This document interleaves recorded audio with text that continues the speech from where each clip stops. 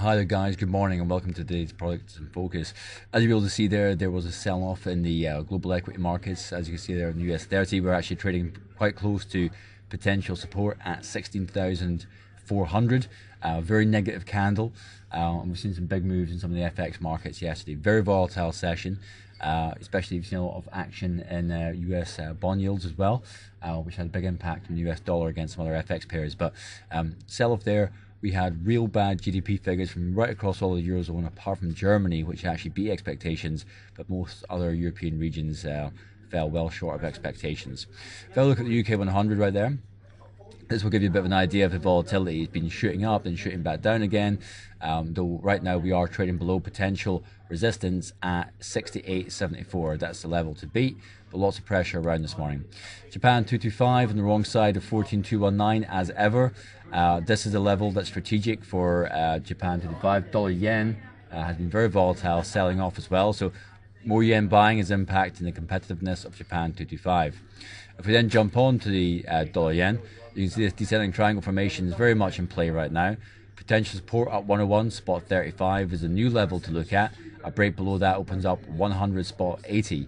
Uh, and certainly there still seems to be a little bit, well, actually, cable and euro dollar are relatively flat this morning.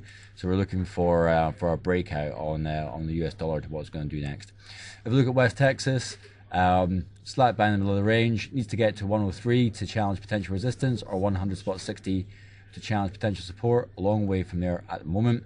Whereas gold, I can see, has uh, continued to, to drift lower. Uh, as ever, 12.95, still strategic in the short term. This is where uh, traders will really look for uh, for little um, snippets of trades.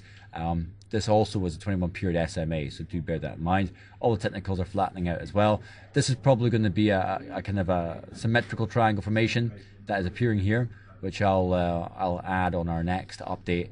Um, but there will be a breakout at some point soon. It's just which direction. But it's obviously up to you guys there at home. Looking at euro dollar, again, incredibly volatile. Uh, sold off strongly yesterday as um, traders started to bet that the ECB will cut rates uh, next month. Um, but just extreme volatility right there. It's a very, it's actually a hammer formation and candlestick terms, um, but there's still a lot of pressure. 37.09 as you can see here, it's obviously it's obviously significant.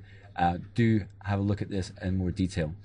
And um, if we actually finish up with GBP USD in this instance, uh, it has been coming off another kind of hammer-ish formation around about that 55 period SMA and potential support at 67.44.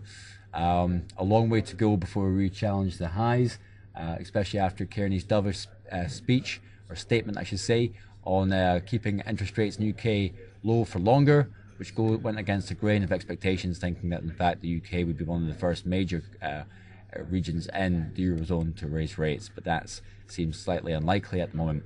Um, UK equities actually got quite hurt yesterday. Most global indices are still down this morning, um, but we are heading into Friday, so we'll see how everything else pans out. Regards to economic data, today is the 16th. There's nothing that exciting, to be honest. You do have the um, the Reuters University of Michigan Consumer Sentiment Survey. It's not really that significant, in my opinion. Let's fast forward on to Monday. Nothing really happening on Monday. You have to go on to Tuesday actually before you get into uh, some uh, other data. Nothing major uh, UK CPI data, and you're actually on to Wednesday before you get anything US related. And even then, it's not major.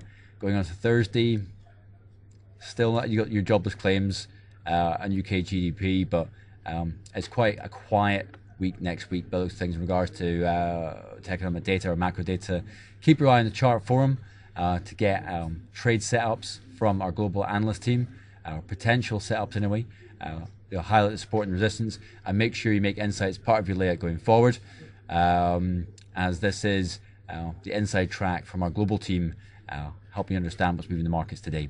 Anyway, join me again on Monday to find out what happened next.